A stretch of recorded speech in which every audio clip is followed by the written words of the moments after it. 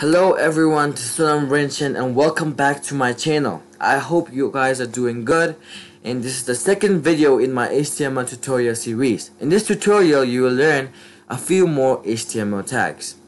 So before we start our lesson I want to repeat a few things. If you want access to my source code and lesson plans you can visit my GitHub account. The link will be in the description below and visit my blog because there will be new posts soon. It will be really fun to read. The link will also be in the description below.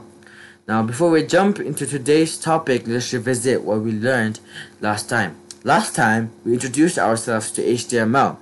Then, we learned what a text editor is. After that, we coded a few tags. We learned how to write a heading how to, and how to write a paragraph. So jumping into today's topic, the first tag you will learn is the ahref tag. The ahref tag basically puts a link on your website which leads to another website. So how you do that is first type a then href equal to sign and quotation marks. In between these quotation marks, you put the link on the website of the website you want to link it on. So I'll link my website with google.com. I will um wait I will copy I'll copy google.com's link and then paste it between the quotation mark. After that, you have to end A. So, let me let us think. Do you want your website to show the link itself or do you want your website to show the letter and when you click on the letter it will lead you to the website? I would obviously want a letter. So, how you do that is by typing something in between this bracket and then it will display on the website. So, I would say here. So now let's save it and run it and see if it works or not. Run and launch Chrome. See? Mm -hmm. We do have a click here button over here. So let's see if it leads us to google.com or not. It does lead us to google.com. So which means that we have executed the code well. So it's time to jump into our next tag, which is the img tag. The img tag is to put an image in your website. So you use the img and the src tag. img stands for image and src stands for source. So quotation quotation mark and between the quotation mark you put the link of your image. I have link of an image over here, so I'll copy this link and paste it and paste it between the quotation mark.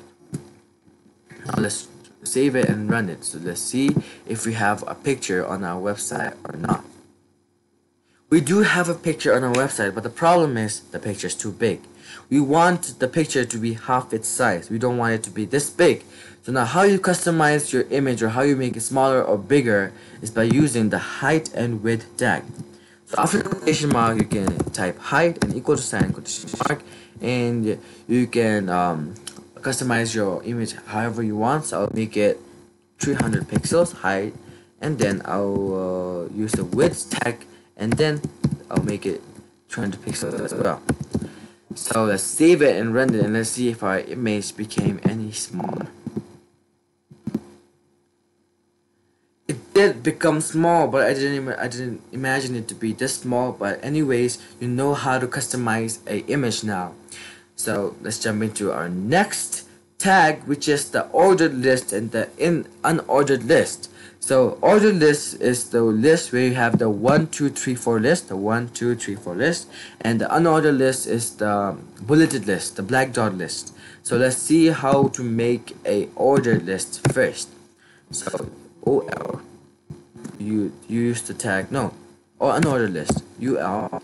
So then let's end UL in between these where we can uh, put whatever we want on our list by using the tag li so let's say we're let's say we're making a menu for a drink for drinks. Let's say we're making a drink menu drinks menu. So uh, let's say coffee right? And mm, then uh, let's say we want tea. Then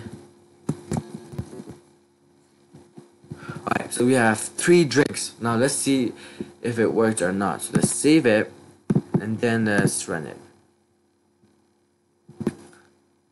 Now we do have a unordered list over here. So which means that we our coding worked. So now let's see how to make a ordered list. You use the tag OL instead of UL.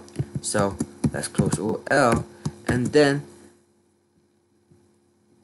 and then we have to we still have to use the um, li li tag between this so as now we're making a mm -hmm, a fast food menu so li let's say pizza right?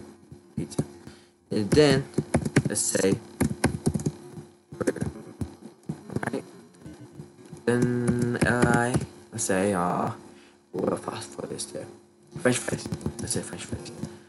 So let's say french fries. And yeah. now let's see if our if our coding works or not. So let's save it and then let's run it now we have an unordered list as well as a ordered list. So that is all I have to teach you guys for today. And today we learned how to put a link on your website. We learned how to put an image on your website and also how to customize that image how to make it bigger or how to make it smaller. Then we learned how to create an, an ordered list and also how to create an ordered list so that's all for today and I don't have a specific homework for today. I just want you guys to practice the tags I taught you guys today and that is all for today. I will see you guys in the next lesson.